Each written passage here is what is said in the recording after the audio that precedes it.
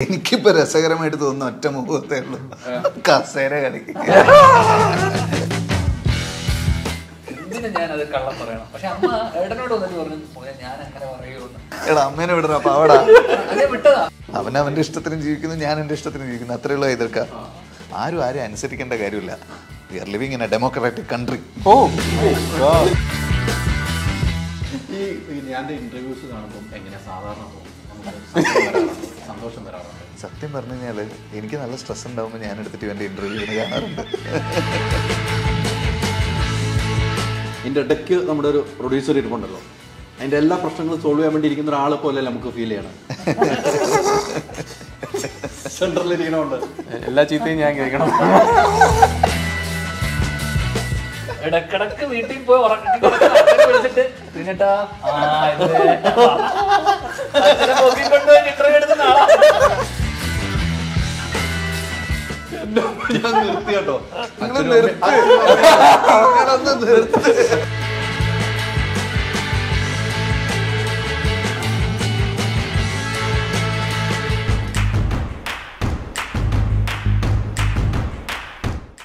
ഓക്സിജനിൽ April പത്ത് വരെ A സികൾക്ക് പമ്പിച്ച വിലക്കുറവ്. ഉടൻ ഷോറും വിസിറ്റ് ചെയ്യും. ഓക്സിജൻ കൂളിംഗ് എക്സ്പെർട്ട് ഹലോ നമസ്കാരം. ഇന്നലെ ഇന്റർവ്യൂ എടുത്തു പ്രേക്ഷകരെല്ലാം കണ്ടു. പക്ഷെ അതിലൊരു ചോദ്യം ഉണ്ടായിരുന്നു. എവിടെ എന്റെ കൂട്ടുകാരൻ ധ്യാൻ എവിടെ നിന്ന് ധ്യാനിക്കുന്നു ധ്യാൻ. പിന്നെ സെറ്റ് പ്രോപ്പർട്ടി ഞങ്ങൾ റിപ്പീറ്റ് ഷർട്ട് മാത്രം മാറിയിട്ടുണ്ട്. ഈ ക്യാമറ ടൂ ഷോട്ടും അതിന്റെ സെപ്പറേറ്റ് ക്ലോസ് അല്ലേ? ഇല്ല ഇല്ല ഇല്ല. എല്ലാവരും ക്ലോസ് ഉണ്ട്. കേട്ടോ എല്ലാവരും ക്ലോസ് ഉണ്ട്. എന്നാ പിന്നെ എന്നെ ഒറ്റയ്ക്ക് ഇരുത്തിയാ പോരെ? അല്ല അത് അത് പോരെ? ഞങ്ങൾ ഇന്നലെ വന്നല്ലേ അത് മതിയോ? നമുക്ക് പുതിയതായിട്ട് എന്താ പിന്നെ പറയാനില്ല ഞാനും പുതിയതായിട്ട് നമ്മളെ ദുബായിലെല്ലാം പറഞ്ഞല്ലേ ഇപ്പൊ മനസ്സിലായല്ലോ. ഇപ്പൊ മനസ്സിലായല്ലോ. കഥ ആർക്കും പറഞ്ഞു കൊടുക്കല്ലേ? അല്ല ഞാൻ പറയില്ല. എന്റെ അടുത്ത് കഥ പറഞ്ഞിട്ടില്ല. edit അത് നമ്മളെല്ലാം എഡിറ്റ് ചെയ്ത് കളഞ്ഞു. കളഞ്ഞു. പ്രേക്ഷകർ മുമ്പിൽ പറഞ്ഞു തരാൻ നമ്മൾ പുറത്തു വിട്ടിട്ടില്ല. ഈ ഏതോ ഒരു ബിറ്റ് അവസാനം എന്ന് പോയില്ലേ? ഇല്ല ആരും അഭിനയിക്കേണ്ടതായിരുന്നു എന്നൊക്കെ. ആ, പറയുന്നത്? ഞങ്ങളുടെ കൂടെ അല്ലാത്ത സമയത്ത് ഇന്റർവ്യൂ ചെയ്യണ്ട. ഈ പടം ഇറങ്ങുന്നവരെ ധ്യാനെ അല്ല ധ്യാൻ നാളെ കോഴിക്കോട് പോവല്ലേ? പിന്നെ ഞാൻ മുക്കത്ത് പോകുന്നുണ്ട്. ലോക്കൽ ചാനൽ ഇന്നലെ സംസാരിച്ചവരോട് എന്ത് സംസാരിക്കാൻ ഇന്നലെ സംസാരിച്ചോട് കംപ്ലീറ്റ് ഒന്നും സംസാരിച്ചു ധ്യാൻ മൊത്തം ഇവരോട് ചോദിച്ചാൽ മതി. ധ്യാനാണ് ഇന്ന് ചോദിക്കുന്നത് അങ്ങനെയാണ് സൗകര്യായനല്ലേ ഞാൻ ചോദിച്ചാൽ മതി. ഒന്നുമില്ല ഇന്ന് ഒരു പാട്ടിറങ്ങി ഗംഭീരമായിട്ടുണ്ട്. നമ്മൾ ഇപ്പൊ തന്നെ നോക്കുമ്പോൾ ഒന്നര ലക്ഷം പേരായി. നമ്മൾ ഇരിക്കുമ്പോൾ തന്നെ രണ്ട് മണിക്കൂറുണ്ട്. ഏഹ് അപ്പോൾ ആ ആ സോങ് കണ്ടു കഴിഞ്ഞപ്പോൾ നമുക്ക് നിവിനെയാണ് അതിനകത്ത് കാണിച്ചിരിക്കുന്നത്. അപ്പോൾ നേരത്തെ ഇന്നലെ എന്റെ ഇന്റർവ്യൂ പറഞ്ഞു ഇവരെല്ലാവരും ഒന്നിനൊന്നിനും മെച്ചമായിട്ട് ഇതിന് ചെയ്തു എന്നുള്ളൂ. എന്തായാലും ഈ സിനിമ സൂപ്പർ ഹിറ്റ് ആകും എന്ന് തന്നെയുള്ള പ്രതീക്ഷയിലാണ് നമ്മൾ എല്ലാവരും നിൽക്കുന്നത്. ഒരു മാറ്റമില്ല മലയാള സിനിമയുടെ നല്ല കാലമാണിപ്പം അതിൽ ആ പുസ്തകത്തിൽ എഴുതി ചേർക്കാൻ പറ്റുന്ന ഒരു സിനിമയാണ് വർഷങ്ങൾക്ക് ശേഷം എന്ന് ഉറച്ച വിശ്വാസത്തോടു കൂടി തന്നെയാണ് ഞാനിവിടെ ഇരിക്കുന്നത്. അങ്ങനെ ആകട്ടെ. തീർച്ചയായിട്ടും. ഞാൻ എന്തായാലും ഞാനെ കുറിച്ച് ഇന്നലെ ഇവർ കുറച്ച് പറഞ്ഞു. വളരെ അധ്വാനിച്ച് ചെയ്ത ഒരു സിനിമയാണെന്ന് പറഞ്ഞു. ആ അധ്വാനം എങ്ങനെയാണ്? ചേട്ടന് വേണ്ടി അധ്വാനിച്ചതാണോ? ഡെഫിനറ്റ്ലി അത് നമ്മളെ ആ- സിനിമ എനിക്ക് തോന്നുന്നു ആ സിനിമയിൽ വന്ന എല്ലാവരും ഞാൻ ഉൾപ്പെടെ എനിക്ക് ബേസിലായിക്കോട്ടെ ഏട്ടന്റെ പടം. കാരണം അത് ഏട്ടന്റെ പടം എന്നുള്ളൊരു ഒറ്റ കാരണം കൊണ്ടാണ് നമ്മൾ നമുക്ക് ആ സിനിമയോടുള്ള ഏറ്റവും വലിയ അറ്റാച്ച്മെന്റ് എന്ന് പറഞ്ഞാൽ ഏട്ടന്റെ പടം. ആ രീതിയിൽ നമുക്ക് ഭയങ്കര പേഴ്സണലാണ് എനിക്ക് പ്രത്യേകിച്ച് കാരണം നമ്മൾ പത്ത് വർഷത്തിന് ശേഷം തിര കഴിഞ്ഞിട്ട് രണ്ടായിരത്തി പതിമൂന്നിൽ തിര കഴിഞ്ഞിട്ട് രണ്ടായിരത്തി ഇരുപത്തി മൂന്നിൽ ഇന്നൊരു സിനിമ ചെയ്യുന്നു. അപ്പോൾ വർഷങ്ങൾക്ക് ശേഷം ഏഹ്, ഏട്ടന്റെ പടത്തിൽ വർഷങ്ങൾക്ക് ശേഷം ബേസിലിന്റെ കൂടെ വർഷങ്ങൾക്ക് ശേഷം അളിയന്റെ കൂടെ. എന്ന് വെച്ചാൽ നമ്മൾ രണ്ടായിരത്തി പത്തൊമ്പത് കഴിഞ്ഞിട്ട് നമ്മൾ വീണ്ടും അഞ്ച് വർഷത്തിന് ശേഷം വീണ്ടും ഒരു സിനിമ. ബേസിലിന്റെ കൂടെ ഒരു ഒമ്പത് വർഷത്തിന് ശേഷം. അപ്പം പലരുടെയും കൂടെ നീരജിന്റെ കൂടെ വർഷങ്ങൾക്ക് ശേഷം. നിവിന്റെ. നീ- ആ, നീ- ഇവന്റെ കൂടെ എനിക്ക് മലയാളം മലയാളം ചെയ്തു. അപ്പം എല്ലാ രീതിയിലും വളരെ പേഴ്സണലാണ് നമുക്ക് ഈ സിനിമ. അപ്പോൾ അപ്പുവിന്റെ അപ്പുവിന് എനിക്ക് പരിചയമില്ലെങ്കിലും വന്നതിന് ശേഷം അപ്പുവായിട്ട് ഭയങ്കര ഒരു സൗഹൃദം ഉണ്ടായി. അപ്പം എല്ലാം കൊണ്ടും നമുക്ക് നമ്മുടെ ഒരു എന്താ പറയണ്ടേ ഒരു ലൈക്ക് ഫാമിലി എന്നുള്ള രീതിയിൽ നമ്മളൊരു ഒരു ഗാദറിങ് അല്ലെങ്കിൽ ആ റിയൂണിയൻ പോലെ ഫീൽ ചെയ്തു അപ്പം എല്ലാവരും ഉണ്ടെന്ന് അറിഞ്ഞപ്പോൾ ഭയങ്കര ഞാൻ കഥ കേട്ടിട്ടില്ലാത്ത സമയത്ത് എന്നോട് ആ രണ്ടാദ്യം എന്ന് പറയുമ്പോൾ ഞാൻ വിചാരിച്ചത് ആ കൂട്ടത്തിൽ ഒരാൾ അല്ലെങ്കിൽ അതിൽ അത് എന്ത് റോളാണെങ്കിലും ഏട്ടൻ വിളിക്കുന്നു ഏട്ടന്റെ പടം എന്ന് പറയുമ്പോൾ തന്നെ നമുക്ക് എന്താ ക്യാരക്ടർ ഒന്നും അറിയണ്ട. കാരണം ബേസിൽ അങ്ങനെ തന്നെയാണ് ബേസിലൊക്കെ വന്നത് അങ്ങനെയാണ്. ബേസിലെ ക്യാരക്ടർ പറഞ്ഞോണ്ട് കഥ അറിയില്ല. ഞാനും ഇനീഷ്യലി കമ്മിറ്റ് ചെയ്യുന്ന സമയത്തും അല്ലെങ്കിൽ ഇനീഷ്യലി ഇത് ചെയ്യാൻ പറയുമ്പോഴും കഥയോ ഒന്നും അറിയില്ല. ഏട്ടന്റെ പടത്തിൽ വർഷങ്ങൾ ശേഷം ഒരുമിച്ച് അഭിനയിക്കുന്നു എന്നുള്ളത് മാത്രമാണ് ദോഷം.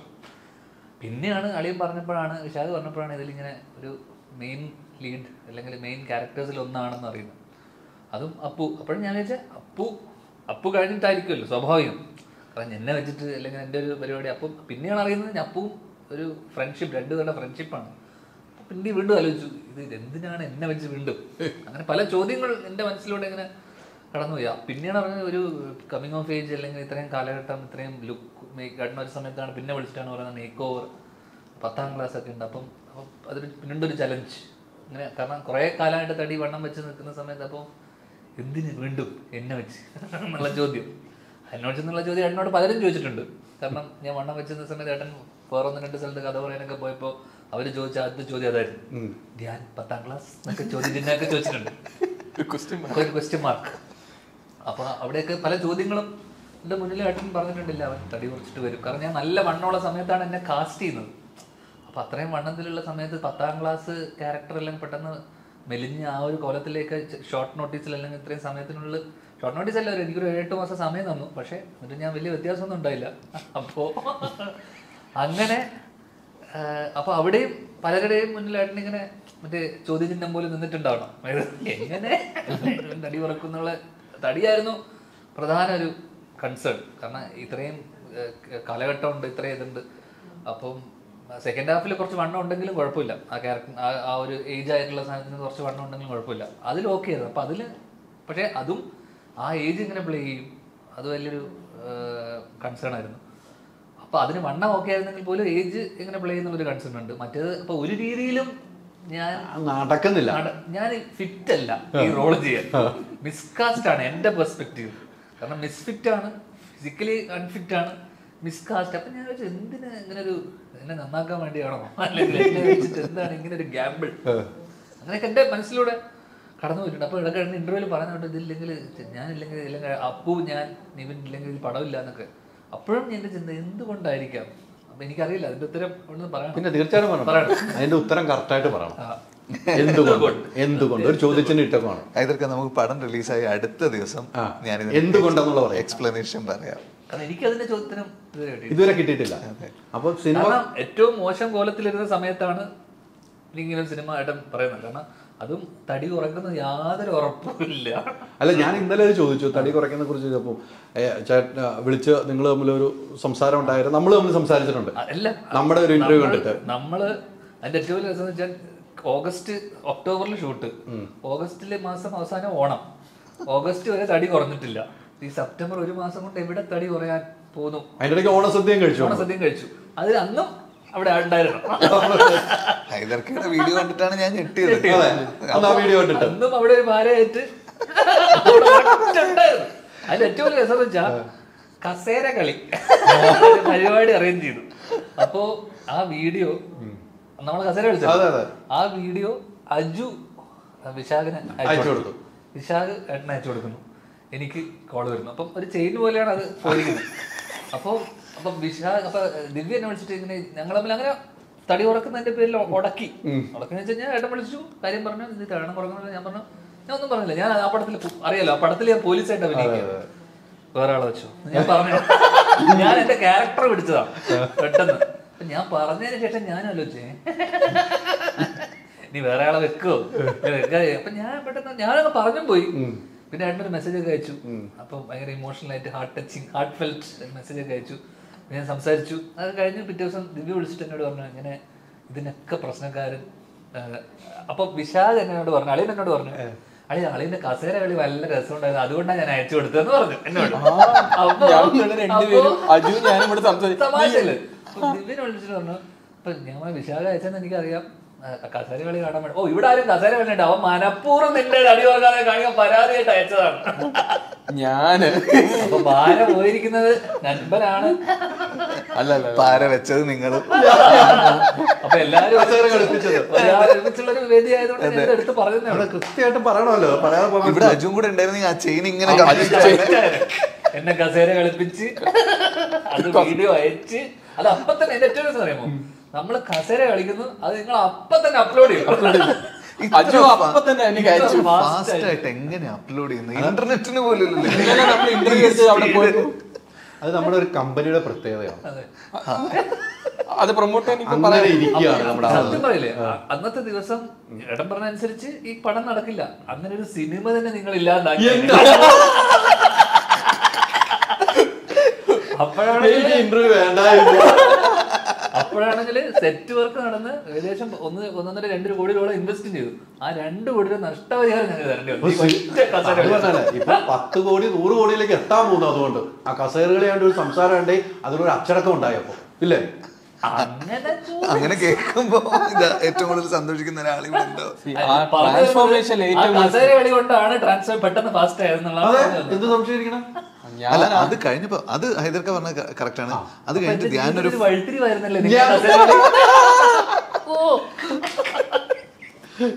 അല്ല അതിനുശേഷം ധ്യാൻ ഒരു ഫയർ വന്നു.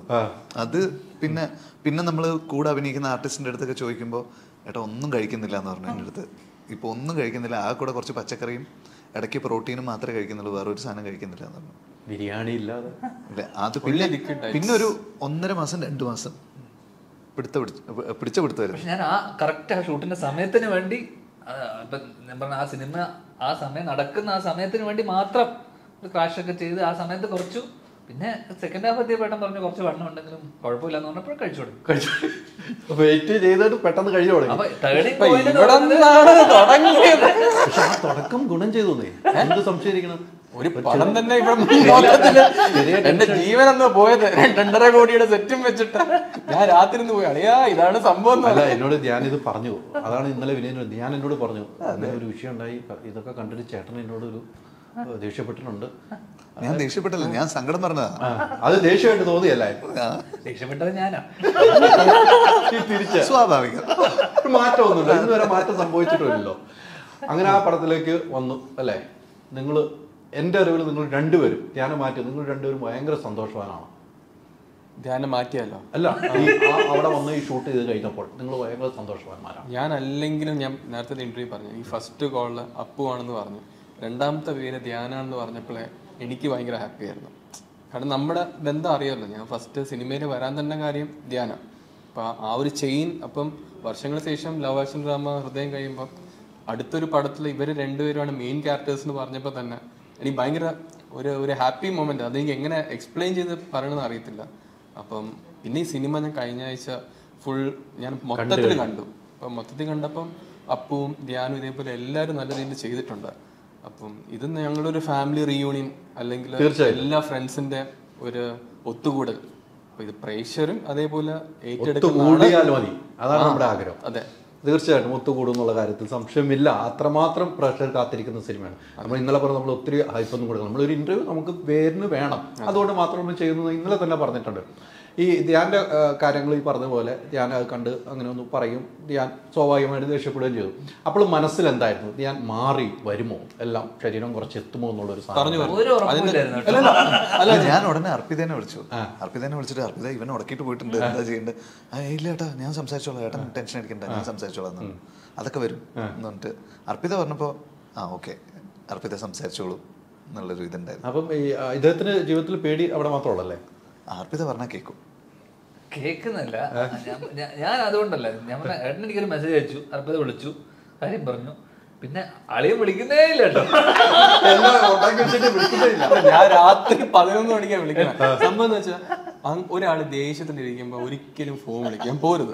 എന്റെ ഒരു ഉണ്ട് ഞാൻ ഒരു ഒരു കാര്യം പറയണമെങ്കിൽ ഫോൺ വിളിച്ചിട്ട് കാണാൻ പറയാ ഞാൻ ഞാൻ നേരിട്ട് പോയി അളിയ ഇങ്ങനെയാണ് കാര്യമേ പറയുള്ളൂ. ഞാൻ ഒരു പത്ത് പ്രാവശ്യം പറഞ്ഞിട്ടുണ്ട്.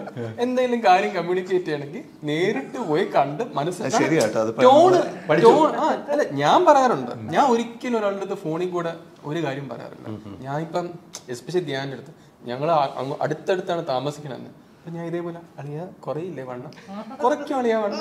ഇങ്ങനെ ഇത് ഇത് ഇത് ആൻസർ കിട്ടിയ പോലെ ഇത് ഫോണിൽ നിന്ന് മറ്റേ വിളിച്ചിട്ട് അങ്ങനെ പറയേണ്ട ആവശ്യമില്ല. അപ്പൊ ഞാൻ ഇടയ്ക്കിടയ്ക്ക് ഒരു പതിനഞ്ച് ദിവസം ഞങ്ങൾ പോവും. കാണാറുണ്ട്. അപ്പൊ ട്രാൻസ്ഫോം പക്ഷെ എന്റെ ഇതിനകത്ത് ഞാൻ കണ്ടപ്പോ ധ്യാനം കുറച്ച് മെലിഞ്ഞ് മെലിഞ്ഞ് വരണം നമ്മൾ എപ്പോഴും വർക്കൗട്ട് ചെയ്യുമ്പോൾ വർക്കൗട്ട് ചെയ്യണവർക്ക് അറിയത്തുള്ളൂ ഇത്. വർക്കൗട്ട് ചെയ്യുമ്പോൾ അതിന്റെ റിഫ്ലക്ഷൻ ഒരു മാസം കഴിയുമ്പോൾ കാണാറുള്ളൂ. അത് ഞാൻ ഇടയ്ക്കിടയ്ക്ക് പറയാറുണ്ട്. പക്ഷെ അതിന് വർക്ക്ഔട്ട് ചെയ്യണം. ഇതൊക്കെ ഇതൊക്കെ ഇവനിപ്പോ പറയുന്നുണ്ട്.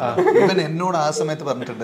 പ്രതീക്ഷ പോലെ കുറയുന്നില്ലല്ലോ പ്രതീക്ഷ പോലെ കുറയുന്നില്ലല്ലോ. എന്നിട്ട് പുറകിൽ ഇങ്ങനെ നിന്നിട്ട് ഇഞ്ചക്ട് ചെയ്ത് ഇഞ്ചക്ട് ചെയ്തിട്ടാണ് ഇതിന്റെ ഏറ്റവും വലിയ പ്രശ്നം ഞാൻ മാത്രം പത്താം ക്ലാസ് ബാക്കി എല്ലാവരും ഡിഗ്രി. അപ്പൂനൊന്നും അപ്പൂന് ആ ഇതില്ല. അപ്പൊ ഞാൻ സത്യമായിട്ട് ചിന്തിക്കുന്നുണ്ട്. അപ്പൂനെ പത്താം ക്ലാസ് ആക്കിയിട്ട് ശരീരം വെച്ച് നോക്കിയാൽ അപ്പു ഓൾറെഡി ഫിറ്റ് ആണ് ലീൻ ആയിട്ട് ഇരിക്കുന്ന ആൾ. അപ്പൂനൊന്ന് പത്താം ക്ലാസ് ആക്കിയിട്ട് എന്നെ വല്ല പ്രീ ഡിഗ്രിയോ ഡിഗ്രിയോ ഞാൻ എപ്പോഴും ഞാൻ എപ്പോഴും ചിന്തിക്കുന്നത് മണ്ണുള്ള കുട്ടികൾക്ക് എന്താ പത്താം ക്ലാസ്സിൽ പഠിച്ചൂടെ? അല്ലേ പിന്നെ തീർച്ചയായിട്ടും. അതൊന്നുമല്ല. ഇതിന്റെ ഫിസിക്കൽ. ഒരു സംഭവമില്ല ഫിസിക്കൽ ട്രാൻസ്ഫോർമേഷൻ എന്ന് പറഞ്ഞാൽ എഫേർട്ട് എടുത്തു എന്ന് കണ്ടു കഴിഞ്ഞാൽ ഓഡിയൻസ് കൺവിൻസ് ആവുള്ളൂ. അല്ലെ? ഇപ്പൊ രാജു. ആട് ജീവിതത്തിൽ ആ എഫേർട്ടിനാണ് ആൾക്കാർ അപ്രീഷിയേറ്റ് ചെയ്യുക അല്ലേ? ആ എഫേർട്ട് ഒരു പടത്തിന് എടുക്കേണ്ട എഫേർട്ട് എടുക്കണ്ടേ? അത് വേണം അത് വേണം. പക്ഷെ അത് എടുത്തു. അവസാനം പക്ഷെ എന്റെ ഓർമ്മയില്ല ഇൻസിഡന്റ് നടന്ന അന്ന് രാത്രി തന്നെ വിനീത് പറഞ്ഞു. ഇനി നീ നോക്കിയോ? ധ്യാൻ അത് കുറച്ചിരിക്കുന്നു. ധ്യാൻ വാശി വന്നാൽ ധ്യാൻ ചെയ്യും. എനിക്കും അതുവരെ ഒരു ഈസി മട്ട് ഉണ്ടായിരുന്നു പക്ഷെ അതിനുശേഷം ഒരു ഫയർ കയറി. നീ നോക്കിയോ അടുത്ത കാണാൻ വരുമ്പം ഞാൻ ഇതിന് ഇടയ്ക്കിടയ്ക്ക് പോയി കാണാറുണ്ട്.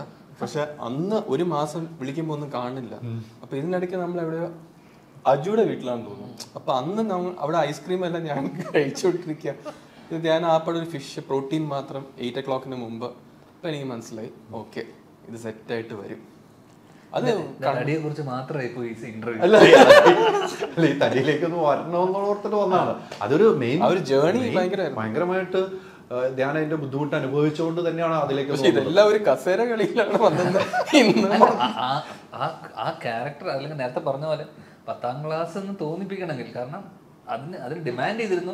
പ്രത്യേക ചേട്ടൻ അത് പറയുമ്പോൾ എനിക്ക് കൃത്യമായിട്ട് അറിയാം. അതില്ലെങ്കിൽ അതൊരിക്കലും നേരത്തെ പറഞ്ഞ ഓഡിയൻ അത് കാണുന്ന ആൾക്കാർക്ക് അതൊരിക്കലും അത് ഫീൽ ചെയ്യില്ല.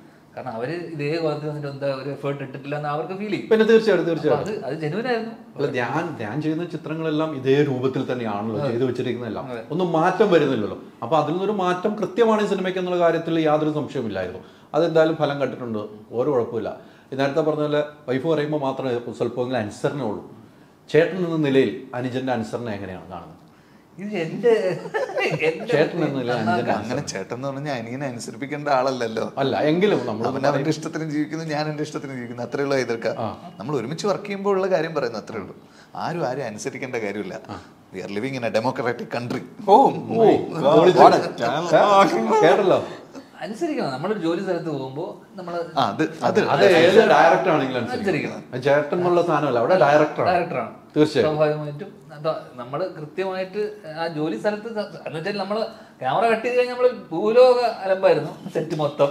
അപ്പോ കാരണം ഏട്ടൻ വളരെയധികം പാഷനേറ്റ് ആയിട്ട് ഭയങ്കര ഇമോഷണൽ ആയിട്ട് എഴുതി വെച്ച സീനൊക്കെ നമ്മൾ ഞാൻ ചില സീനൊക്കെ ഞാൻ ഒപ്പൊക്കെ അഭിനയിച്ചിട്ട് ഞാൻ വന്നിട്ട് ഓക്കെ ആണോ എന്ന് പറയുമ്പോ ഏട്ടൻ ഇങ്ങനെ കണ്ണൊക്കെ നിറഞ്ഞിരിക്കുമ്പോ ഏഹ് ഓക്കെ ആണോ? എന്ന് പറഞ്ഞപ്പോ കാരണം നമുക്കത് കൃത്യമായിട്ട് ഞാൻ അങ്ങനെ അതിനെ ചെയ്തു വരുന്നോണ്ട് എനിക്കത് ജോലിയാണ്. അപ്പൊ എണ്ണന്നല്ല എണ്ണതിന്റെ മറ്റേ ഹാർട്ട് ആൻഡ് സോൾ അതിന് ഇത്രയും കർശനമായിട്ട് ക്യാരി ചെയ്തൊരു കഥ ഭയങ്കര ഹാർട്ട് ഫെൽഡ് ആയിട്ടാണ് പുള്ളി അതിനെ അപ്രോച്ച് ചെയ്യുന്നതും കാണുന്നതും കൺസീവ് ചെയ്തിട്ടുള്ളതൊക്കെ. പക്ഷെ നമുക്ക് കൃത്യമായിട്ട് അത് ജോലി ചെയ്ത് പോവുക അല്ലെങ്കിൽ രാവിലെ വരിക ഡയറക്ടർ പറയുന്നത് അനുസരിക്കുക കേൾക്കുക ഓക്കെ ആണെങ്കിൽ ഓക്കെ ഭയങ്കര അനുസരണമുള്ള കുട്ടിയായിരുന്നു അല്ലേ? Director work wise work wise definitely എടുത്തു അതെല്ലാവരും. ഞാൻ പറഞ്ഞ ഞാൻ മാത്രമല്ല. നമ്മളെ സെറ്റിൽ വർക്ക് ചെയ്ത എല്ലാവരും. എല്ലാവരും. അത് തീർച്ചയാണ്. ഒരു ഡയറക്ടർ ഡയറക്ടർ തന്നെയാണല്ലോ ആ സിനിമ നിയന്ത്രിക്കുന്നത്. ഈ ഞാൻ ഇന്റർവ്യൂസ് ഒക്കെ കാണുമ്പോൾ അത് കഴിഞ്ഞ് ഈ ഷൂട്ടിങ്ങിന്റെ ഇടയ്ക്കൊക്കെ പല ഇന്റർവ്യൂസ് കൊടുക്കുമ്പോൾ വിനീന് ഒരു ടെൻഷൻ ഉണ്ടായിരുന്നു. ഞാൻ എന്തൊക്കെ പറയും ഈ സിനിമയെ കുറിച്ച് അങ്ങനെ ഒരു ആദ്യം ഉണ്ടായിരുന്നു മനസ്സിൽ എനിക്കിപ്പോഴും ഉണ്ട്. പക്ഷെ ഇന്ന് ധ്യാനം ഒരു സാധനം പറഞ്ഞില്ല. ഇത്ര ഇന്റർവ്യൂസ് ധ്യാനം കൊടുത്തിട്ട് ഒരു സാധനവും നമ്മൾ സീക്രട്ടീവ് ആയിട്ട് വെച്ചിട്ടുള്ള ഒരു സാധനം പറഞ്ഞിട്ടില്ല. അതുകൊണ്ട് ഇപ്പോൾ ഇല്ല. അതായത് ഇതിനകത്ത് സീക്രട്ടീവ് ആയിട്ടുള്ള ഒരു സാധനം ഇല്ല എന്നുള്ളതാണ് സത്യാവസ്ഥ. ആ ട്രെയിലറിൽ ഈ സിനിമയുടെ കഥയുണ്ട്. തീർച്ചയായും. കാരണം നമ്മൾ പക്ഷെ ധ്യാനം നമ്മൾ നമ്മുടെ കഥയെല്ലാം ആൾക്കാർക്ക് മനസ്സിലായിട്ടില്ല. പക്ഷെ ശരിക്കും ഒന്ന് ക്രാക്ക് ചെയ്യണമെന്ന് വെച്ച് കഴിഞ്ഞാൽ ഒരു കാരണം നമ്മൾ പറയുന്ന ഹിന്ദി ഇട്ട് കൊടുത്തിട്ടുണ്ട് വളരെ കെയർഫുൾ ആയിട്ട് ഡീകോഡ് ചെയ്യുന്ന ആൾക്കാർക്ക് എല്ലാ സാധനങ്ങളും അതിന്റെ അകത്തുണ്ട്. ഒറ്റയടിക്ക് കാണുമ്പോൾ ആ ട്രെയിലർ ടീസറിലൊന്നും മനസ്സിലാവില്ല. ട്രെയിലറിൽ പക്ഷെ കഥ ഒളിപ്പിച്ചു വെച്ചിട്ടുണ്ട്. അതെ അതെ തീർച്ചയായിട്ടും. പക്ഷെ അത് കാണുമ്പോൾ തോന്നുന്ന കഥയല്ല. അതെ കാണുമ്പോൾ തോന്നുന്ന കഥയല്ല. എന്തെങ്കിലുമൊക്കെ വേണമല്ലോ. പിന്നെ വേണ്ടേ? അപ്പോ അപ്പൊ എനിക്ക് വന്ന് ഏട്ടൻ എനിക്ക് ഞാൻ ഇപ്പം ചോദിച്ചപ്പോഴും ഏട്ടനോട് അന്ന് എന്നോട് പറഞ്ഞപ്പോൾ എല്ലാവർക്കും മനസ്സിലാവുന്ന ഒരു കഥ. എല്ലാവർക്കും അറിയാവുന്ന കഥ പറയുമ്പോൾ അത് അതിന്റെതായിട്ടുള്ളൊരു സുഖമുണ്ട്. കാരണം കുഞ്ഞു കുട്ടിക്ക് മുതൽ ഒരു ഒരു വരുന്ന ആൾക്കാർക്ക് മുതൽ അഞ്ചാം ക്ലാസ് കുട്ടിക്ക് മുതൽ മുതിർന്നവർക്കും എല്ലാവർക്കും റിലേറ്റ് ചെയ്യാനും എല്ലാവർക്കും മനസ്സിലാവുന്ന ഒരു കഥയായിരിക്കണം ഫസ്റ്റ് ഓഫ് ഓൾ കഥ ഒരിക്കലും അൺപ്രഡിക്റ്റബിൾ ആയിട്ടുള്ള അപ്പം എല്ലാവരും പറയും ഇത് ഭയങ്കര പ്രഡിക്റ്റബിൾ ആണ് ഇതെന്താ സർപ്രൈസ് ഒന്നും ഇല്ല അത്ര സർപ്രൈസ് എലിമെന്റ്സ് ഒന്നും ഇല്ല. പുള്ളി അത് വെക്കാറുമില്ല. ഭയങ്കര സർപ്രൈസുകളല്ല ഞാൻ പറഞ്ഞ കുഞ്ഞു കുഞ്ഞു കുഞ്ഞു സർപ്രൈസുകൾ. കുഞ്ഞു കുഞ്ഞു അപ്പൊ ഒരിക്കലും കണ്ടിട്ട് ഇതായിരുന്നു ഇതായിരുന്നോ എന്ന് തോന്നാൻ മാത്രമുള്ള ഭീകര സർപ്രൈസുകളും ഇല്ല. വൺ മാസ് മൊമെന്റ്സ് അല്ല. ഒന്നുമല്ല. നമ്മൾ കണ്ടോണ്ടിരിക്കും ആ പറയുന്ന ഒരു ആ ഒരു മോമെന്റ് നമുക്ക് കിട്ടും. നമുക്ക് സിനിമ കണ്ടിറങ്ങുമ്പോൾ നമ്മൾ മനസ്സിൽ വിചാരിച്ച പോയ ഒരു സിനിമയായിട്ട് നമുക്ക് കിട്ടും. അത്രേ ഉള്ളൂ. എന്ന് നമുക്ക് വിശ്വസിക്കാമല്ലോ. അങ്ങനെയാണല്ലോ സിനിമയുടെ വിജയം. അതെ. ഇതിന്റെ മെറ്റീരിയൽ കാണുമ്പോൾ ഹൈദർക്ക് തോന്നുന്നില്ലേ? ഇങ്ങനെ ആയിരിക്കും ഈ അതെ, അതെ, അതെ. അതിലേക്ക് തന്നെയാണ് ഇത് വന്ന് നിൽക്കുക. പക്ഷെ എങ്ങനെ? എങ്ങനെ വരുന്നു. എന്തിലൊക്കെ കൂടെ?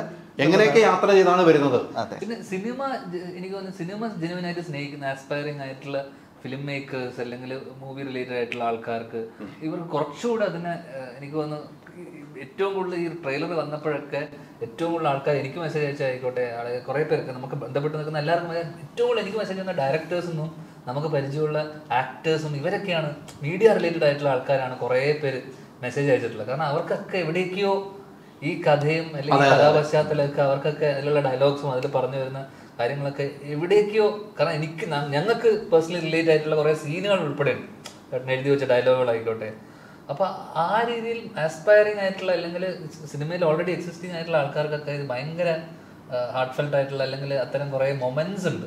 അത്തരം മൊമെന്റുകൾ പഞ്ച് ചെയ്തിട്ടുണ്ട്.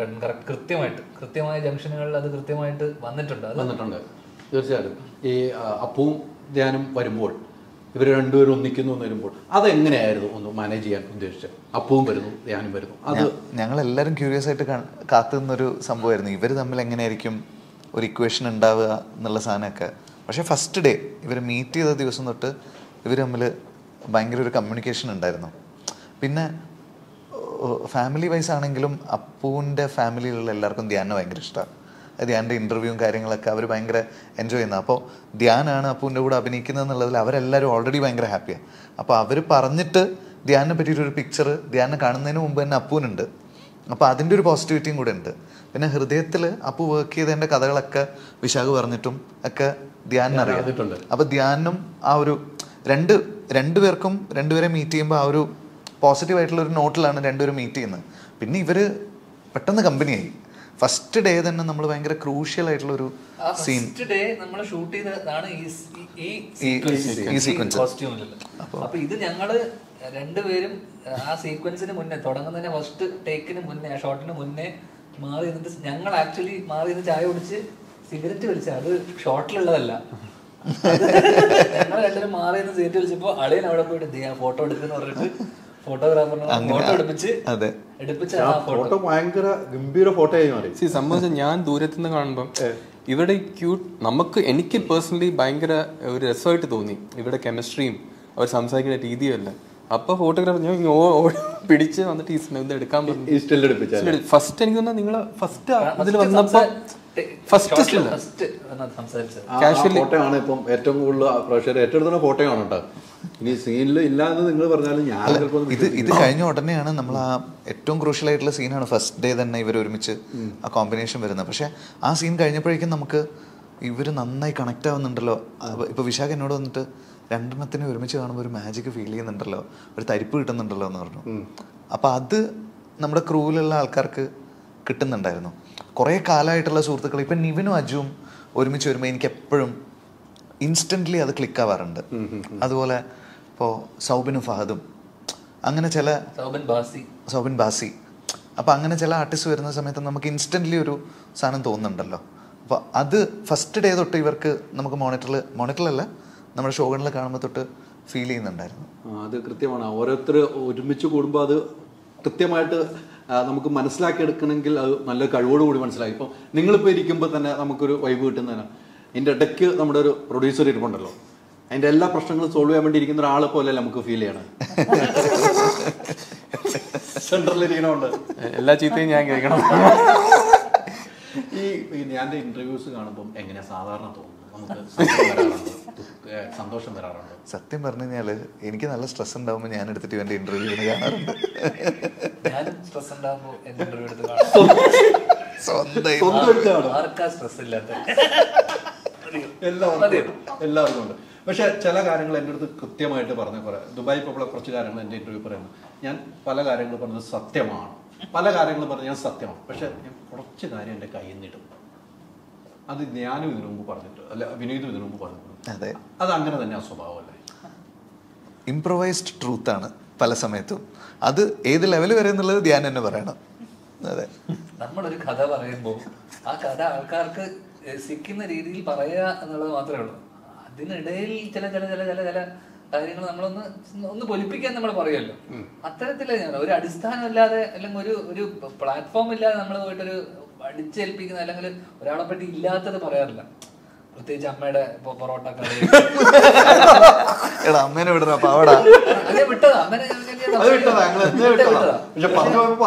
പക്ഷെ അതൊക്കെ അമ്മ പറഞ്ഞത് ഞാൻ എന്തിനു ഞാൻ അത് കള്ളം പറയണം? പക്ഷെ അമ്മ ഏട്ടനോട് വന്നിട്ട് പറഞ്ഞു മോനെ ഞാൻ അങ്ങനെ പറയുള്ളൂ.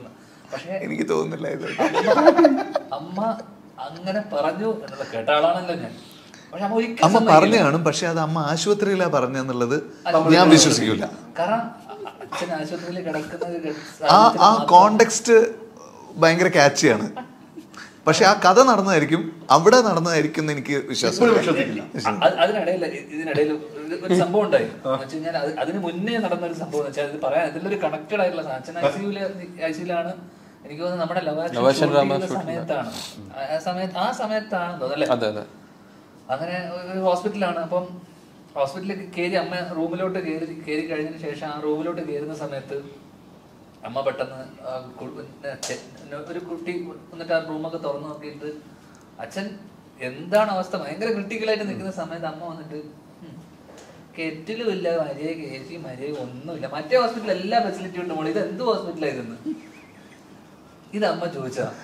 ഇത് കഴിഞ്ഞിട്ടാണ് പൊറോട്ട പറഞ്ഞത്. ഓക്കെ അപ്പോഴും എല്ലാം ഒരേ ടൈമിലാണ് അതേ ടൈമിലാ അത് ഹൈദർക്ക് അച്ഛൻ എന്തെങ്കിലും ചൂടുവെള്ളം കൊടുക്കണമെന്നോ അങ്ങനെ എന്തെങ്കിലും അമ്മ ആലോചിച്ചിട്ടുണ്ടോ. ഇത് ഇവൻ പറയുമ്പോ ഇത് ഇങ്ങനെ തോന്നും ആൾക്കാർ അമ്മയ്ക്ക് ചായ കുടിക്കാനാന്ന് പറഞ്ഞു അപ്പം അപ്പൊ അപ്പോഴും അമ്മ ആലോചിക്കുന്നത് ഈ ഹോസ്പിറ്റലിൽ? അതിന്റെ കാരണം ഇത്രയേ ഉള്ളൂ. അതായത് അച്ഛന് കിടക്കുന്ന സമയത്ത് ചൂടെടുക്കാൻ പാടില്ല. ചൂടുവെള്ളം കൊടുക്കണമെങ്കിൽ പെട്ടെന്ന് എടുത്ത് കൊടുക്കാം. ഇതായിരിക്കും അമ്മ ആലോചിച്ചിട്ടുണ്ടായിരുന്നു. പക്ഷെ അത് ഇവൻ പറയൂല. ഇവൻ ഈ കഥ പറയുന്നില്ല. അതെ. അമ്മ അന്ന് പറഞ്ഞ കാര്യം ഇതായിരുന്നു. അപ്പൊ ആ കുട്ടി ഞാൻ ആ കുട്ടീനോട് മോളെ ഇപ്പൊ പോയിക്കോ പോയിക്കോ എന്ന് പറഞ്ഞു. കാരണം അതല്ലല്ലോ. അപ്പൊ അവൾ ആ കുട്ടി വിചാരിക്കൂലേ ഇനി എന്ത് സ്ത്രീ ഭർത്ത അവിടെ അപ്പൊ ഞാൻ നമ്മ എന്ത് എന്താ കഴിക്കാൻ വേണ്ടെന്ന് പറയുന്ന സമയത്ത് ഞാൻ സ്വാഭാവികമായിട്ടും നമുക്ക് ചപ്പാത്തി പറയാം. അല്ലേ? ഒരു എന്ന് വേണ്ട മോനെ. കഴിക്കാൻ എനിക്കൊന്നും വേണ്ട എന്ന് ഞാൻ പറഞ്ഞ അങ്ങനെയല്ലേ പറയാ. പൊറോട്ട ഉണ്ടോ? പൊറോട്ട ഉണ്ടോന്ന് അത് ഞാൻ ഫോൺ ഇങ്ങനെ പിടിച്ചു നിൽക്കുന്ന സമയത്ത് ചപ്പാത്തി ഉണ്ട് പൊറോട്ട ഉണ്ടോ എന്ന് ചോദിക്കും. ഇങ്ങനെ എന്നോട് പറഞ്ഞു. കാരണം അച്ഛൻ ഉള്ള സമയത്ത് പൊറോട്ട കഴിക്കാൻ സമ്മതിക്കില്ല അച്ഛൻ മൈദക്ക് എതിരാ. അപ്പോ ആകെ കിട്ടിയൊരു ചാൻസ് ഇതാ. ഇത് പറയാൻ. ഇത് കഴിക്കാൻ. പൊറോട്ട കഴിക്കാൻ. ഉള്ള സമയത്ത് ഐ സി കിടക്കുമ്പോഴല്ലേ കഴിക്കാൻ പറ്റൂ. പിന്നെ എപ്പോ കഴിക്കാൻ പറ്റും? കഴിക്കാൻ പറ്റില്ല കിട്ടിയ ചാൻസ് എന്നോട് ഞാൻ ഫോൺ പിടിച്ച് നിൽക്കുന്ന സമയത്താണ് പൊറോട്ട ഉണ്ടെന്ന് ചോദിക്കുന്നത്. ആഗ്രഹമല്ലേ? ഞാൻ ശബ്ദത്തിൽ കൊടുത്തു. ശബ്ദത്തിലല്ല പറഞ്ഞ? അല്ല ശബ്ദത്തിൽ തന്നെ പറഞ്ഞു. കാര്യമാണ്. പുട്ടാകാം. അല്ല പൊറോട്ട. ശബ്ദത്തിൽ തന്നെ പറഞ്ഞു. പുട്ടല്ല പൊറോട്ട. ആ ചിലവ് അങ്ങനെയായിരിക്കും കേട്ടോ. ചോദിക്കുക അമ്മയുടെ കാര്യം വിട് പ്ലീസ് അല്ല പുട്ടായാലും പൊറോട്ട ചപ്പാത്തി. ചോദിച്ചു. ചോദിച്ചു. ഞാൻ വാങ്ങിച്ചും കൊടുത്തു. ഓർഡറും ചെയ്തു. പക്ഷെ അത് ഞാനൊരു കഥയായിട്ട് ഒരു സ്ഥലത്ത് പറഞ്ഞു. അത്രേ ഉള്ളൂ. ഓ വല്ലാത്തൊരു പറച്ചിലായി. അത് മാത്രമേ അവൾ പറയാനുള്ളൂ. നിങ്ങൾ വീണ്ടും വീണ്ടും പറയിപ്പിക്കുന്നുണ്ടല്ലോ. അല്ലല്ല ഞാൻ പറഞ്ഞു ഞാൻ പറഞ്ഞു ഇപ്പൊ ഈ കഥ ഇവിടെ എടുത്തിട്ടാണ് ഞാൻ എടുത്തിട്ടാണ്. പക്ഷെ ഈ കഥ സത്യമല്ല എന്ന് അമ്മ ഏട്ടനോട് എന്തോ പറഞ്ഞു എന്ന് കേട്ടു ഞാൻ. എന്നോടൊന്നും പറഞ്ഞിട്ടില്ല അത് വിട്ട്. ആ എന്റെ അടുത്ത് എന്റെ ഇന്റർവ്യൂ അമ്മ പറഞ്ഞു. അമ്മ ഒരിക്കലും വീണ്ടും ഈ ഇന്റർവ്യൂ ആണല്ലേ എല്ലാം. ഞാൻ പോയി. സത്യം ഞാൻ കള്ളം പറയുന്ന ആളായി മാറി. മനസ്സിലായില്ലേ? അപ്പൊ ഇതിൽ ആരാ സത്യം പറയുന്നുള്ള സംശയം? കേൾക്കുന്ന ആൾക്കാർക്കും തോന്നും ഞാൻ കള്ളം പറയണം. പക്ഷെ സത്യം ഇവിടെ നടന്നത് ഞാൻ എങ്ങനെ തെളിയിക്കും? തെളിയിക്കണ്ട ഇനി. അപ്പൂല്ല പുട്ടുമില്ല പൊറോട്ട അമ്മ അവിടെ എന്തെങ്കിലും അപ്പോ പൊട്ടു തന്നെ പോയി കുഴപ്പമില്ല. അയ്യോ.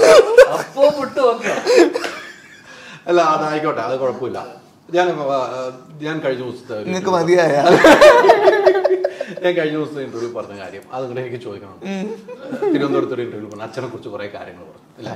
എല്ലാരും കേട്ടു. അത് എന്റെ ഇന്റർവ്യൂ പറഞ്ഞു എനിക്ക് അച്ഛനെ കുറിച്ച് പറയാനുള്ള സമയം അവർ തന്നില്ല എന്നാണ് എന്നോട് പറഞ്ഞത്. ദുബായിൽ വെച്ച്. ഞാൻ അവിടെ പരിപാടി തീർന്നു പോയി. തീർന്നു പോയി തീർന്നു പോയി. അത് കേട്ടപ്പോ എന്താണ് തോന്നിയത്? അച്ഛനെ കുറിച്ച് പറഞ്ഞു കേട്ടിട്ടില്ല. കഴിഞ്ഞല്ലോ. ഉത്തരവില്ലല്ലോ. അതാണ് നല്ലത്. കാരണം അതിലെ വിഷയം അതിന്റെ ടോപ്പിക് എന്ന് വെച്ചാൽ അച്ഛനും ഏട്ടനും ഇടയിൽ ഞാൻ ഇതായിരുന്നു വിഷയം. അപ്പം അനു വേട്ടൻ നമ്മുടെ കൈരളിയിലെ നമ്മുടെ പഴയ ഷോ ഒക്കെ ചെയ്തിട്ടുള്ള എനിക്ക് മെസ്സേജ് അയച്ചിരുന്നു അതാ- അതാ പറഞ്ഞേ. ഇതിന് മറുപടി പറയാനുള്ള ഒരു ഇതുകൊണ്ടായിരിക്കും പറഞ്ഞിട്ടാ പക്ഷെ ഞാൻ പറഞ്ഞ അന്ന് പറഞ്ഞൊരു കാര്യത്തിനകത്ത് അനൂപേട്ടൻ അങ്ങനെയുള്ള ചോദ്യങ്ങൾ അനൂപേട്ടൻ അത്യാവശ്യം അച്ഛനും ഞാനും ഇടയിൽ ഉണ്ടായിട്ടുള്ള സംഭവങ്ങളൊക്കെ അറിയുന്ന ആളാണ്. കുടുംബ സുഹൃത്താണ് ആ കുടുംബ സുഹൃത്താണ്. അച്ഛനോട് അച്ഛൻ അനുവേട്ടനോട് എന്റെ കാര്യങ്ങളൊക്കെ ഷെയർ ചെയ്തിട്ടുണ്ട്. അപ്പൊ അനുവേട്ടൻ എന്നോട് അങ്ങനെ ഒരു ചോദ്യം ചോദിച്ചപ്പോഴാണ് ഞാൻ ആ മൊത്തം സിനാരിയോ അന്ന് നടന്ന സംഭവങ്ങളൊക്കെ ചെറിയ രീതിയിൽ പറഞ്ഞത്. അതായിരുന്നു ടോപ്പിക് അപ്പം സ്വാഭാവികമായിട്ട് അന്ന് നടന്ന സംഭവത്തിനെ വെച്ച് ഞാൻ പറഞ്ഞതെന്ന് വെച്ച് കഴിഞ്ഞാൽ അച്ഛൻ എന്തുകൊണ്ട് പക്വതയോടെ ഇന്ന് അന്ന് എന്നോട് പെരുമാറില്ല ഏത്? അച്ഛൻ എന്നെ ഇരുത്തിക്കൊണ്ട് മോനെ എന്താ മോനെ ചെയ്യാൻ ആഗ്രഹിക്കുന്നത് ചോദിച്ചില്ല. എന്താ മോനെ പറ്റിയത്? അങ്ങനെ പറയാൻ പറ്റുന്ന ഒരു ബാല്യം ആയിരുന്നില്ല ഹൈദർ കൈവന്റെ. അങ്ങനെ എപ്പോഴേ പറഞ്ഞല്ലേ അങ്ങനെ എന്തുകൊണ്ട് എന്റെ അച്ഛൻ ഒരു ഒരു രീതിയിൽ പെരുമാറിയില്ല അതാണ് എന്റെ സങ്കടം. അതിന് പകരം എന്റെ അച്ഛൻ എന്നെ തല്ലാൻ വരുന്നു. രസഭ്യം. ചീത്ത വാക്കുകൾ കൊണ്ട് എന്നെ ഇതാക്കുന്നു. പക്ഷെ സ്നേഹം കൂടുമ്പോഴാണ് അവിടെ ചീത്ത പറയാനും ദേഷ്യപ്പെടാനും ഒരു. പേരന്റിന് അത് അത് സത്യമാണ് കേട്ടോ നിങ്ങൾ വളരെ മോശം പേരന്റാണ് സ്നേഹം കൂടുമ്പോ ചീത്ത പറയണോ? അല്ല അത് സ്നേഹത്തിൽ പറയാം. അങ്ങനെ എന്താണ് മോനെ? മോന്റെ പ്രശ്നം. മോൻ എന്തുകൊണ്ട് പഠിക്കാൻ സാധിക്കുന്നില്ല? മകൻ എന്നൊക്കെ വിളിച്ചിരുന്നു. മകൻ അതെ. ഒരു അറ്റത്ത് മകനെ എന്നൊക്കെ ഉണ്ടായിരുന്നു. ദൂരെ ഒരു അറ്റത്ത്. എന്തിലും വരുമ്പോ? എന്തിലും വരുമ്പോഴായിരുന്നു?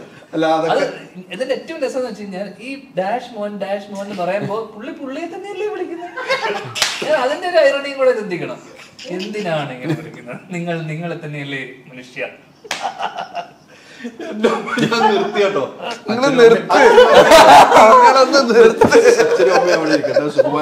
ഇരിക്കട്ടെ. ഞാൻ- ഒരു കാര്യം ഇടക്കിടക്ക് വീട്ടിൽ പോയി ഉറക്കിട്ട് പിന്നെട്ടാ പൊക്കിക്കൊണ്ടുപോയി ഇന്റർവ്യൂ എന്നോട് പറഞ്ഞു. ആ, എന്നെ അച്ഛൻ വിളിച്ചു. രാവിലെ ഏഴര മണിക്ക് വിളിച്ചിട്ട് പറഞ്ഞു. ഒന്ന് ഇങ്ങോട്ട് ഒരു കാര്യം പറയാനുണ്ട് അഞ്ചര ഏഴര മണിക്ക് ഏഴര മണിക്ക് എന്നെ വിളിക്കുന്നു. അപ്പൊ ഞാൻ ഉറക്കാതെ ഞാൻ തിരിച്ചു വിളിച്ചു. എവിടെയാന്ന് ചോദിച്ചു? ഞാൻ വീട്ടിൽ വീട്ടിലേക്ക് വരാൻ പറഞ്ഞു. ഞാൻ നേരെ വീട്ടിൽ അമ്മയ്ക്ക് സംശയം. ഇന്റർവ്യൂ എടുക്കാൻ പറഞ്ഞു മൈക്കുണ്ടോ എന്ന് ചോദിച്ചു. ഇവിടെ ഒന്നുമില്ല. എന്നെ വിളിച്ചിരുന്നു എന്ന് പറഞ്ഞു. ഞാൻ കയറി ചെന്നിരുന്നു അപ്പൊ ഒന്നും പറയാനില്ല. മറ്റേ അവിടുത്തെ സ്ഥലം വിൽക്കുന്ന കാര്യത്തിനാണ് എന്നെ വിളിച്ചത്. സ്ഥലം വിൽക്കാനുണ്ടെന്ന് പറഞ്ഞു. അങ്ങനെ ഇരുന്നപ്പോൾ അമ്മ ഒന്ന് പറഞ്ഞു കഴിഞ്ഞ ദിവസം ഒരാൾ ഒന്ന് സിഗരറ്റ് കൊടുത്തു. അച്ഛൻ. അതൊന്ന് പേടിപ്പിക്കണമെന്ന് എന്നോട് അച്ഛനെ ഞാൻ പേടിപ്പിക്കണമെന്ന് അമ്മ എന്നോട് അത് തന്നെ ഒരു ക്യാമറ വെച്ച് ഇന്റർവ്യൂ എടുത്തിട്ടില്ല ഇന്റർവ്യൂ എടുത്തിട്ടില്ല. ദൈ- ദൈവം സത്യം എടുത്തിട്ടില്ല വെറുതെ ഇതാണ് ഈ ഞാൻ കള്ളം മാത്രം പറയുള്ളൂ ഇപ്പൊ തെളിയിച്ചിരിക്കുന്നത് ഞാൻ എല്ലാം കള്ളം പറയുന്നു. അത് അതിന് മുമ്പാണ്. മുന്നേ പോയി. അങ്ങനെ പോയിരുന്നു ഞാൻ അച്ഛനോട് കുറെ സംസാരിച്ചു. അപ്പോഴാണ് എന്നോട് അച്ഛൻ ആ, കാര്യം മറ്റേ സിനിമയുടെ കഥയൊക്കെ എന്നോട് പറയും ഇന്നലെ നമ്മൾ ചോദിച്ചത് ചോദിക്കുന്നത് സിനിമയുടെ കഥ എന്നോട് പറഞ്ഞത്. അങ്ങനെയാണ് അച്ഛൻ എന്നോട് പറഞ്ഞത്. എന്തായാലും അച്ഛനെ അടുത്ത് പോകുമ്പോൾ നമുക്ക് ഇപ്പോൾ പോകുമ്പോഴും ഈ എപ്പോൾ പോയാലും നമുക്ക് വീണ്ടും വലിയ എനർജിയാണ് അച്ഛൻ തരുന്നത്. പറയായിരിക്കും എല്ലാ കാര്യങ്ങളും ഓർത്ത് പഴയ കാര്യങ്ങളും ഓർത്ത് സംസാരിക്കാൻ ഇഷ്ടമുള്ളവരെടുത്ത് സംസാരിക്കാൻ അച്ഛന് വലിയ താല്പര്യമാണ്. അത് ഞാൻ കാണുന്നത്. ഞാൻ പോയതിന്റെ അന്ന് തലേന്നാണ് സത്യൻചേട്ടൻ വന്നതെന്ന് പറഞ്ഞു അതെല്ലാം ഓർത്തിട്ട് വന്ന് പറഞ്ഞ കഥകളും എല്ലാം പറഞ്ഞ് ചിരിച്ചിരിക്കാം. അച്ഛന്റെ അടുത്ത് ഇരിക്കാൻ എനിക്ക് അമ്മയെ കാണുമ്പോഴാണ് ഏറ്റവും സന്തോഷം. ഒരു കൊച്ചു അച്ഛന് കുട്ടിയെ പോലെ. പറഞ്ഞ കാര്യങ്ങൾ. ഇന്നൊരു കുറ്റബോധത്തോടെ അച്ഛനോട് എന്തിനു ഞാൻ അതൊക്കെ പറഞ്ഞു വേദനയോടെ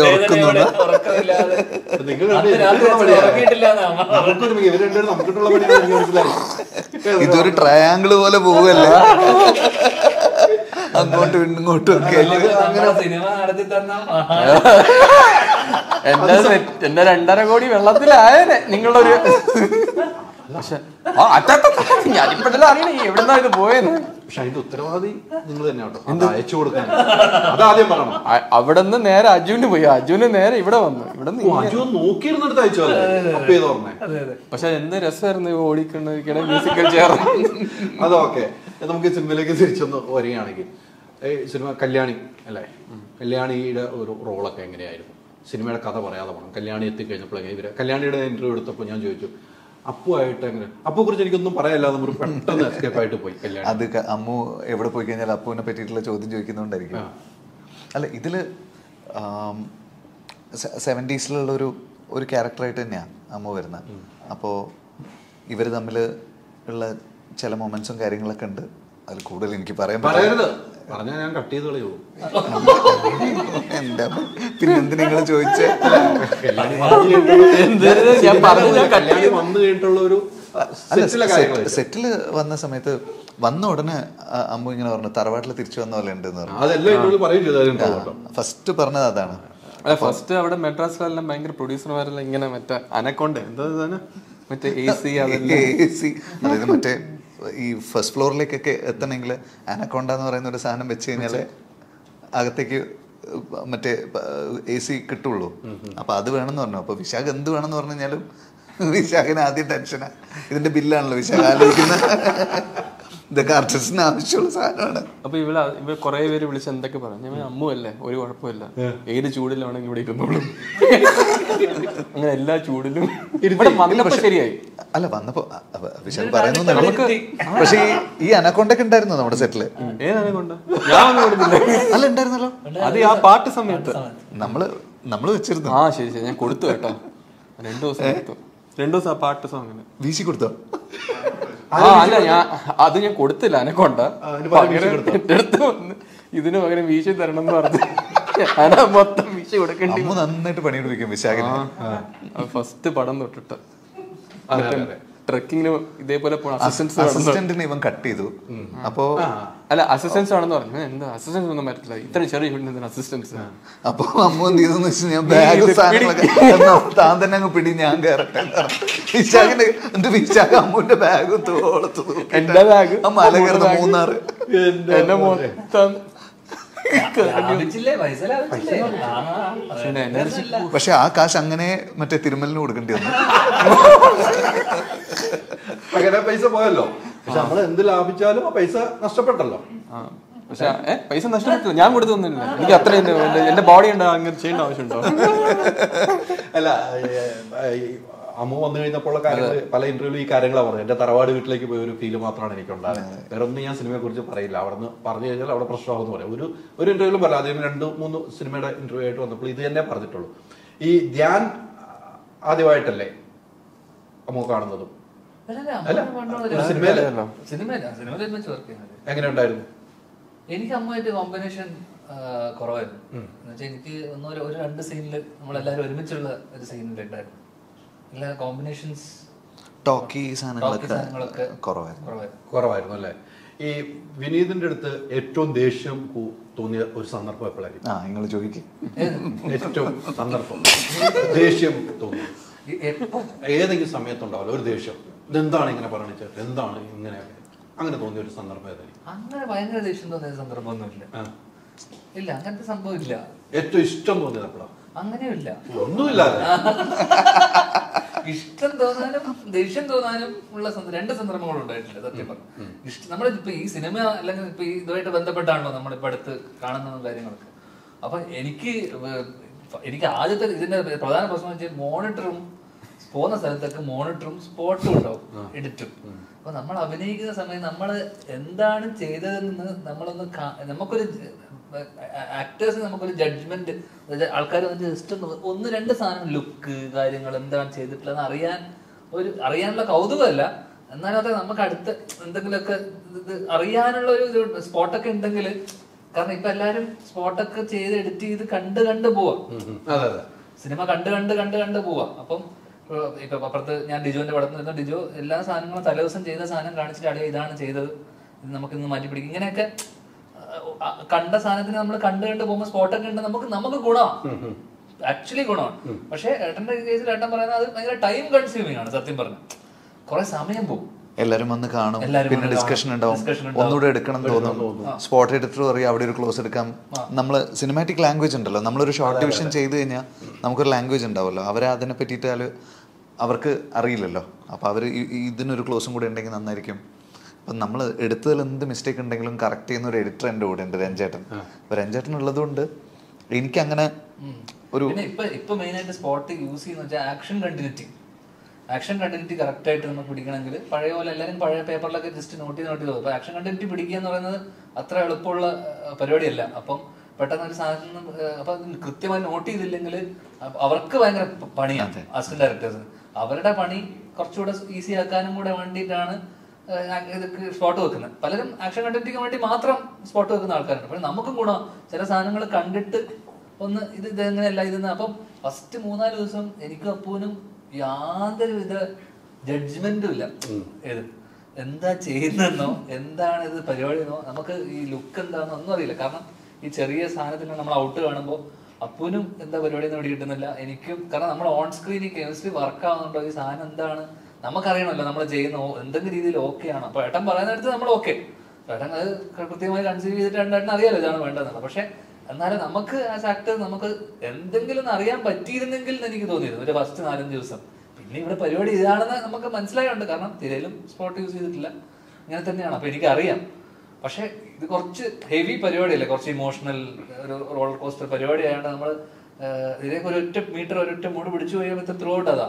ഇത് കുറെ വേരിയേഷൻസും കുറെ ചേഞ്ച് ഓവറും മേക്ക് ഓവറൊക്കെ ഉള്ളതുകൊണ്ട് നമുക്കത് എന്താണെന്ന് അറിഞ്ഞു പോയിരുന്നത് നല്ലതെന്ന് എനിക്ക് തോന്നിയിരുന്നു. അതാണ് എനിക്ക് ആദ്യത്തെ കുറച്ച് ദിവസത്തിന് ഒരു ഒരു ഒരു മറ്റേ കോൺട്രാക്ട് ഇവിടുന്ന് കരാറെടുത്തിട്ട് അടിച്ച് തീർക്കണം എന്താ ദേഷ്യമുണ്ടോ? ചില സ്ഥലത്തൊക്കെ ഫോക്കസ് ഔട്ട് പോകുന്ന സ്ഥലത്തൊക്കെ ഞാൻ ഒന്ന് രണ്ട് ഷോട്ടൊക്കെ അത് മതി അത് മതി അത് മതി. അപ്പൊ ഫോക്കസ് കാരണം നമുക്ക് ഞാൻ ഫൈനൽ കട്ട് ആലോചിക്കുന്ന ഹൈലർക്ക ഫൈനൽ കട്ടിൽ എനിക്ക് എന്താന്ന് വെച്ചാൽ കഴിഞ്ഞാൽ അതിന്റെ ഇൻ ബിറ്റ്വീൻ ഞാൻ അപ്പുറത്തുനിന്ന് ഒരു ഓയസസ് പോകുന്നുണ്ട്. അത് ഷാർപ്പാണ് അത് മതി. ഇൻ ബിറ്റ്വീൻ നമ്മൾ യൂസ് ചെയ്യാത്ത സ്ഥലത്ത് ഫോക്കസ് പോയാൽ നമുക്ക് പ്രശ്നമല്ലല്ലോ. ധ്യാനം എന്നിട്ട് ഫോക്കസ് ഫോക്കസ് എന്ന് പറയാ പറഞ്ഞപ്പോൾ ഞാൻ ലാസ്റ്റ് ചോദിച്ചു കഴിഞ്ഞ ഫോക്കസ് നന്നായിട്ടുള്ള പടങ്ങളൊക്കെ നന്നായിട്ട് ഓടിയിട്ടുണ്ടെന്ന് ചോദിച്ചു. അപ്പൊ പറഞ്ഞു അതില്ല പറഞ്ഞിട്ട് പോയി. ഒരൊറ്റ ചോദ്യമാണ് ഫോക്കസിന്റെ പുറത്താണ് ഒരു സിനിമ അല്ലല്ലോ അവിടെ എന്താണല്ലോ? പിന്നെ ഇടയ്ക്ക് എനിക്ക് എനിക്കിപ്പം പെട്ടെന്ന് നമ്മൾ വർക്ക് ചെയ്യുന്ന ഗിംബൽ ചെറിയൊരു സ്റ്റഡി ജർക്കൊക്കെ വരുവാണെങ്കിൽ അതെല്ലാം ഒക്കെ വെക്കും അപ്പൊ വിഷൻ ആണെങ്കിൽ അതൊന്ന് സ്റ്റെബിലൈസ് ചെയ്തൂടെ? ചെയ്യാം. ഫോക്കസ് ഷാർപ്പ് ചെയ്തൂടെ? ചെയ്യാം. അവൻ എന്ത് പറഞ്ഞാലും ചെയ്യാന്നല്ലാതെ പറയൂല. അല്ല എന്ത് ചെയ്യ എന്ത് പറഞ്ഞാലും പറയുന്നുണ്ടെങ്കിലും സിനിമ മൊത്തത്തിൽ കണ്ടില്ലല്ലോ. അല്ല മൊത്തത്തിൽ സിനിമ കണ്ടോ? ഇല്ല ഇല്ല ഞാൻ കണ്ടില്ല കണ്ടവര് പറയുന്നത് കേട്ടിട്ടുണ്ടല്ലോ. എല്ലാം അവിടെ തന്നെ ഉണ്ട്. ആ ഭോഗത്തോട്ടൊന്നും അവിടെ ഇല്ല. അതൊക്കെ പിന്നീട് തരും ഞങ്ങൾ ഞങ്ങൾ പിന്നീട് അതൊരു മേക്കിംഗ് വീഡിയോ ആയിട്ട് ഇറക്കുന്നുണ്ട് ഇതൊക്കെ ആവശ്യമില്ല ഇങ്ങനെയൊക്കെ പോയാൽ മതി. വെറുതെ നന്നായിട്ട് ചെയ്യുന്ന പയ്യനെ വെറുതെ. അല്ല വിഷനൊക്കെ നമ്മുടെ ഒരു സോൾജർ ആണ്. പിന്നെ ഇറങ്ങും. എന്നോട് പറഞ്ഞതറിയാം സോൾജർ പറഞ്ഞ കാര്യം സോൾജർ എന്നോട് പറഞ്ഞു ഞാൻ സോൾജറോട് ഒന്ന് രാവിലെ ചോദിക്കും അല്ലെങ്കിൽ എന്താ എടുക്കണേ? ചേട്ടാ കിതർ കാം ഹേ. ഇതാണ് സോൾജറിന്റെ അവസ്ഥ. ഭയ്യ കൊച്ചിനേക്ക് പത്ത ഇന്ന് അവിടെ പണി അവിടെ തേക്കണം എന്ന് പറയും അവിടെ ഇവിടെ തേക്കണം. എന്നിട്ട് അവൻ ഒരു ദിവസം ഒരു ദിവസം പാക്കപ്പ് ആവുന്ന ദിവസം അവൻ എന്നെ ഞാൻ അവൻ നടന്നു വരിക. അന്ന് വന്ന സമയത്ത് എന്നോട് പറഞ്ഞു നിന്റെ ഏട്ടൻ ചെയ്യുന്ന ഇതിനേക്കാളും ചെയ്യാൻ പറ്റുന്ന ഒരു സാധനമുണ്ട്. സ്പീഡിൽ ചെയ്യാൻ പറ്റുന്ന ഒരു സാധനമുണ്ട്. അപ്പൊ ഞാൻ എന്താ എന്ന് വെച്ചാൽ അതെന്താ അപ്പം സുഹൃത്ത് ഇതാണ് ഇവരെ സോൾജർ കമാൻഡറിനെ പറ്റിയുള്ള അഭിപ്രായം. പക്ഷേ ഞാൻ സോൾജറിനില്ലേ അവന്റെ ഉപ്പാട് ഇളകിട്ട് ഒരു മാസം ഷൂട്ട് ചെയ്തിട്ടില്ല ഷൂട്ട് ചെയ്തില്ല. അല്ല പക്ഷെ ഞാൻ എന്ത് പറഞ്ഞാലും അവൻ എടുത്തു തരും. ആ, അടിപൊളിയാണ് അടിപൊളിയാണ് വിഷൻ ഒരു നോ ഇതുവരെ കഴിഞ്ഞ രണ്ട് പടത്തിൽ ഞാൻ കേട്ടിട്ടുണ്ട്. വിശ്വ എന്ന് പറഞ്ഞ ഓക്കെ എന്നാ പിന്നെ ഇരടാ എന്ന് പറഞ്ഞിട്ട് അപ്പം സ്പോട്ടിൽ. ഞാനല്ലാതെ പറയാൻ പറ്റില്ല. പക്ഷെ എന്തായാലും പുള്ളിയുടെ ചങ്കാണ്. ഒരു മാറ്റമില്ല അവിടെ എല്ലാവരുടെയും ചങ്ക. ഇവിടെ ഇവിടെ ഇവിടെ ബട്ടിയാ. ഓക്കെ അല്ലേ? ഗംഭീരമായിട്ടെ സിനിമ. Thank you thank. പറയാനാ. അവിടെ ഉണ്ട് ഒരു രസകരമായ ഒരു മുഹൂർത്തം കൂടെ പറയാം. അത് കഴിഞ്ഞു. അത് വിനീത് പറയണ്ട. രസകരമായ മുഹൂർത്തം. അയ്യോ മുഹൂർത്തം നമ്മൾ ചോദിച്ച് മുഹൂർത്തം കവിഞ്ഞ് എതിർക്കാം. അത് മതിക്ക മതി. മതിയെന്നേ. ആ. ഒരു രസകരമായ അവിടെ എനിക്കിപ്പോ രസകരമായിട്ട് തോന്നുന്ന ഒറ്റ മുഹൂർത്തേ ഉള്ളൂ. കസേര കളി. വീണ്ടും കറങ്ങി അടിച്ചു വന്നിട്ടുണ്ടല്ലേ? അതെ. നമുക്ക് നാല് കസേര എടുത്ത് കൊടുക്കാം. ഒന്ന് ഓടിയല്ലോ. റെഡിയാണോ ഈ വേണം പ- പ- പത്താം തീയതി. നമുക്ക് പതിനൊന്നാം തീയതി കഴിഞ്ഞിട്ട് ഓടാം. ഒരു കളി. എല്ലാ പക്ഷേ ഈ സിനിമ സൂപ്പർ ഹിറ്റ് ആകട്ടെ. നമ്മൾ കുറെ കാര്യങ്ങൾ സംസാരിച്ചു. സിനിമയെ കുറിച്ച് സംസാരിച്ചു. രസകരമായ മുഹൂർത്തങ്ങളുടെ സിനിമ കഥ പറയാൻ പറ്റാത്തതുകൊണ്ട് സിനിമയിലേക്ക് ഒത്തിരി പോയില്ല. ഇന്നലെ നമ്മൾ കുറെ പോയിട്ടു. ഞാൻ എന്തായാലും സിനിമ കഥയിലേക്ക് പോകുന്നില്ല. ഞാൻ ഇപ്പോഴും പറയുന്നു പഴയ ലാലേട്ടനെയും പഴയ ശ്രീചേട്ടനെയാണ് ഞാൻ ഈ സ്ക്രീനിൽ കാണാൻ വേണ്ടി പോകുന്നത്. അതിന് യാതൊരു മാറ്റവുമില്ല. പോകണ്ട, രണ്ടുപേരെയും കാണാൻ പോയത് അപ്പൂനെ കാണാൻ പോയത് ബാക്കി നീൻപോളി ബേസിൽ ദിവസം ബാക്കിയുള്ളവർ കാണാം. ഇവർ രണ്ടാണ് കാണാൻ കേട്ടോ. അവരെന്തിനാ കാണാൻ പോകുന്നത് എന്തിനാണ് കമ്പാരിസൺ അല്ലേ? ഞാൻ അഭിനയിക്കുന്ന അമ്മയുടെ അടുത്ത് പറഞ്ഞിരുന്നു. അമ്മ? എന്താ പറഞ്ഞത്? അമ്മ എന്ന് വെച്ചാൽ ഇത് അമ്മ അസോസിയേഷൻ ആണ്. അല്ല. അമ്മയ്ക്ക് ഭയങ്കര സന്തോഷമാണ്. ഞാനും അവനും ഒരുമിച്ച് വർക്ക് ചെയ്യുന്നു എന്ന് കേട്ടാൽ തന്നെ അമ്മയ്ക്ക് ഭയങ്കര സന്തോഷമാണ്. ആദ്യത്തെ ദിവസമൊക്കെ എന്റെ അടുത്ത് ചോദിക്കുമായിരുന്നു. എങ്ങനെയുണ്ട്? എന്നൊക്കെ ചോദിച്ചിട്ട് ഒരു ദിവസം സെറ്റിൽ വന്നു. സെറ്റിൽ വന്നു. ധ്യാനം എങ്ങനെയുണ്ട്? ധ്യാനം തടി കുറച്ചിട്ടുണ്ടോ? ധ്യാന്റെ തടി. അതാണ് അമ്മയുടെ ഏറ്റവും വലിയ കൺസേൺ അവൻ മെലിഞ്ഞപ്പോഴൊക്കെ അമ്മയ്ക്ക് ഭയങ്കര സന്തോഷമായിരുന്നു. സന്തോഷമായിരുന്നു. എന്റെ അടുത്ത് പറഞ്ഞു, ഭയങ്കര സുന്ദരനായിട്ടുണ്ട്. ഇപ്പൊ അങ്ങനെ ഇങ്ങനെ എന്നൊക്കെ പറഞ്ഞു. പണ്ടും സുന്ദരൻ തന്നെ. ആ അമ്മേനെയാണ് ഇവൻ പൊറോട്ട കഥ പറഞ്ഞ്.